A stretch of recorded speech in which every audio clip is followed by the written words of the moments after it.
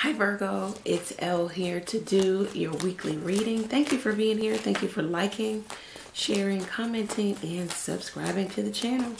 It is much appreciated. All links are below if you need to get in contact with me. Let's get into it, Virgo. Thank you, God, for blessing Virgo with a clear, concise message from you. All right, so let's see. All right, so the Justice card could be dealing with a Libra. So fair, balance, um, honesty, uh, payment, repayment, debt, karma. Let's see what's going on here. Yeah, Ace of Cups. So, um, maybe trying to balance out your love, the love that you have for a particular person, or this is what they're doing with you. Or now somebody's trying to be fair and balanced with you. Could be the mother of their child, the Empress here. Um, someone could be looking at you differently. There could be uh, that someone is with child here. Let's see. Yeah. Somebody wants to have a better relationship with you, a healthier relationship with you. You're not sure, Virgo. Um, you're not sure if this person has changed. Maybe you cut them off, you cut them out, or um, you just don't know if you want to allow them back into your life. This person feels indebted to you, though, uh, for whatever reason. Maybe you were very good to them, very good natured, and they just didn't show up in the best. Uh, best light, best capacity. They like they just took you for granted. They lied. They were unkind. Um, they did what they wanted to do. Yeah. Now this person wants to communicate with you. They want to state their intentions. They want things to come to a conclusion. Maybe you know the separation to come to a conclusion. Now this person is kind of um, stuck on you or wanting the relationship back, wanting a new start or wanting to take something to the next level, um, maybe even to show you that they've changed. What is the advice for Virgo here? And it could be vice versa. What is the advice for Virgo? What is the advice for Virgo? The advice for Virgo. Okay, the temperance card. So, um, take the middle ground with this because, you know, be centered in your emotions. Don't go too far to the left or too far to the right. Don't just fall back into this. Um, have some compromise there. Let this person prove to you if they have changed, if they are more balanced. Um, says salvage the relationship too. Yeah, the star card. So you may have to forgive reconcile, um, forgive, and release the, the baggage from this connection. You don't want to carry that with you. This is the advice for you.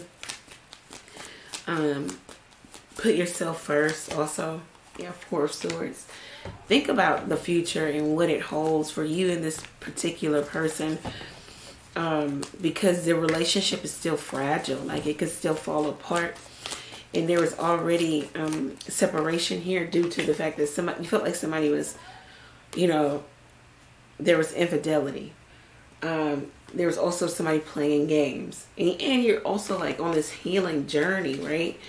You don't want them to come in and kind of unravel you or take you out of balance. Yeah, you're just fearful of that with the devil card showing up. Could be Capricorn. Um, you're fearful that maybe somebody hasn't gotten rid of a third party also. Yeah. Could be your husband. Yeah, they hadn't gotten rid of a third party. Um, so can't make it up. Seven of Swords. So it's just like do your homework. Ask ask ask the necessary questions um, before you start to rebuild here. Uh, do forgive and be compassionate, but at the same time, don't you know, um, do your research in hope in hopes that you don't find yourself at the same place, this tower moment with your person again, because they're holding back um, and they're keeping secrets. So it's just like ask questions. Don't just allow them to come back. Um, let's see what the butterfly oracle deck has to say uh, for you. The butterfly oracle deck uh, welcome the new. So it could be newness for you, sentimental feelings. Maybe there's the leftover uh, feelings that you have for your person.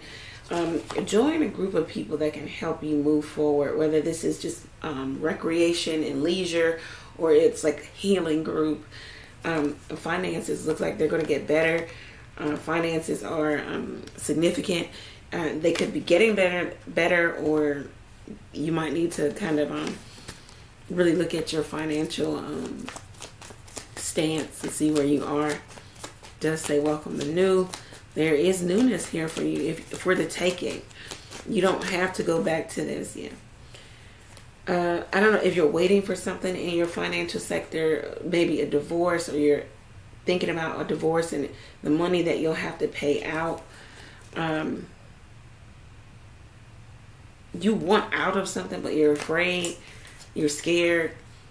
Um, you think that somebody's going to wipe you out or take all that you have.